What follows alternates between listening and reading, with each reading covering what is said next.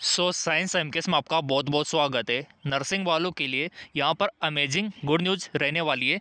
जैसा कि स्क्रीन पे आप देख पा रहे आपके लिए यहाँ पर लेटेस्ट वैकेंसी जारी की है। जहाँ पर आपके जो पद है, वो यहाँ पर, ये देखिए, अलग ही तरीके के रहने वाले हैं। जैसे कि टीम लीडर का हो गया, ठीक है? इसके अलावा ऊपर आप देखिए, आरोग्य मित्रा का हो गया। ये आपके लिए अमेजिंग पोस्ट यहाँ पे रहने वाली है। नहीं तो आपको पता है कि अधिकतर नर्सिंग ऑफिसर का पद रहता है सीएचओ का रहता है स्टाफ नर्स का रहता है हेल्थ इंस्पेक्टर का रहता है है ना? तो यहाँ पर नर्सिंग ट्यूटर का रहता है। लेकिन ये आपके लिए अमेजिंग पोस्ट आपके लिए निकली है तो अवश्य ट्राई करना चाहिए। आरोग्य मित्रा के लिए टीम लीडर के लिए। और यहाँ पर देखो नर्सिंग वाले फार्मेसी वाले दोनों अप्लाई कर सकते हैं। अब यहाँ पर आप बोलेंगे, सर अप्लाई कैसे करना है? क्या प्रोसीजर है? सिलेक्शन क्या रहने वाला है, यहाँ पर प्रोसीजर वो सब यहाँ पर देख लेते हैं। ये गवर्नमेंट की तरफ़ से पूरा नोटिफिकेशन और ये एग्ज़ाम का पैटर्न और ये आपके लिए रिजर्वेशन और ये आपके लिए एज लिमिट और ये आपके लिए फॉरम फ़ीस सब उन्होंने जारी कर दिया है। फॉरम का फ़ीस देखो आप यहाँ पर एस सी एस टी वालों के लिए मात्र तीन सौ रुपये और अनरिजर्व वालों के लिए पाँच सौ रुपये रहने वाला है।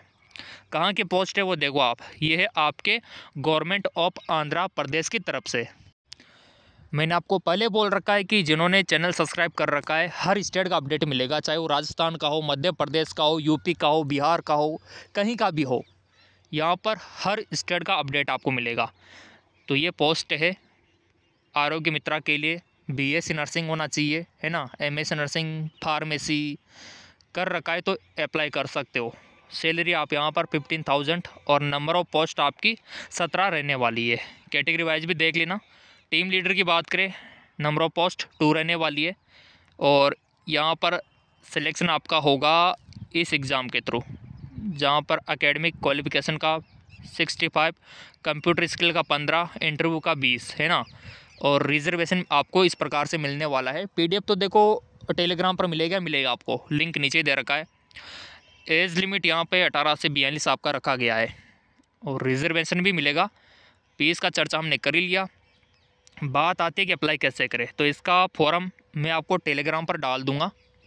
और इसका जो लास्ट डेट है, यहाँ पर देख लो आप छः जनवरी 2024 रहने वाला है। तो इससे पहले पहले आपको अप्लाई करना होगा। सो जैसा कि यहाँ पर आप देख पा रहे फॉर्म भर के डॉक्यूमेंट्स अटैच करके इस एड्रेस पे भेज देना है। सिंपली आपका फॉर्म अप्लाई हो जाएगा इस तरीके से।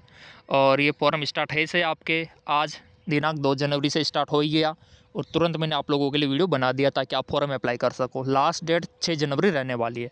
बाकी जिस वैकेंसी के बारे में आप जानना चाहते हो, जिसका इंतज़ार है, आप कमेंट करके बता सकते हो। और इस वैकेंसी को लेकर कोई डाउट है तो भी आप कमेंट करके पूछ सकते हो। अभी तो बहुत सारी नर्सिंग की वैकेंसी जाने वाली है आपके लिए तो फ़िलहाल आप यहाँ पर ट्राई कर सकते हो। पीडीएफ और लिंक टेलीग्राम पर मिल जाएगा।